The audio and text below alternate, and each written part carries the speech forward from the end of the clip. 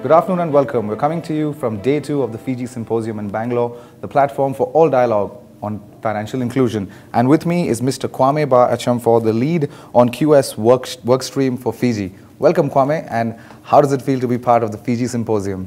Thank you very much. It's great to be part of this beautiful collaboration between the International Telecom Union and the World Bank Group, um, pursuing this global agenda of financial inclusion which has been um, long overdue. And I think that um, this step um, takes us further to bring everybody on board in the financial inclusion agenda. Uh, can you tell us a little more about the potential for digital financial services to actually make financial inclusion a success? What it is is that everybody loves money. Everybody wants to use money.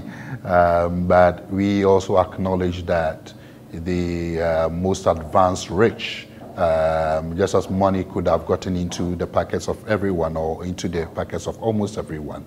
The means of sending money across to everyone, the potential is with the telecommunications network, which is more connected among people than usually the banks are. Um, they are more unbanked people um, than they are um, less connected people. So we can say that they're connected through um, technology or mobile communications is further than the connection on the banking sector level. So the potential here is that we could spread the connectivity of spreading money around or sharing money around through um, the, the mobile technology platform. And this is the potential where we can use to push for financial inclusion. Uh, tell us how important is it for the telecom companies and the banks to come together to create financial inclusion? I think times have changed. I mean, there used to be the times where you could exchange um, bread with salt and, and we moved into currencies. The time has come that there has to be that collaboration. And just as um, most of um, the, the, the um, countries name it, they call it mobile money. So it puts mobile um, and technology and money on equal footing. And this is where the two sectors have to come together, and I believe on equal footing. Um, on the higher level, if they can go as far as having um, laws and regulations which really um, energizes them, which really helps them collaborate to achieve this agenda, it is very um, positive.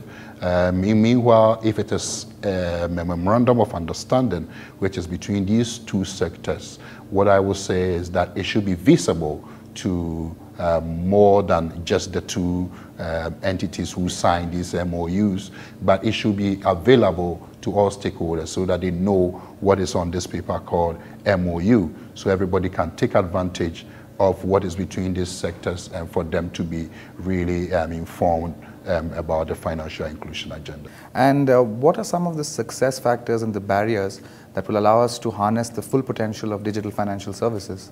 This is money, and money, taking it around, means trust. There is also the need for security. Um, some of the problems that we've had currently with this financial inclusion and money going around is the people losing their money. And if this keeps going on, there is that the potential that people withdraw from using such a platform. So there is the need that the, the networks are secured. There is the need that um, confidence is built among users. And they also have to be assured of the quality of service. Um, with these platforms. So these are very key um, to the success of um, mobile, mobile money or digital financial services. Thank you so much. Thank you so much for your time, Kwame.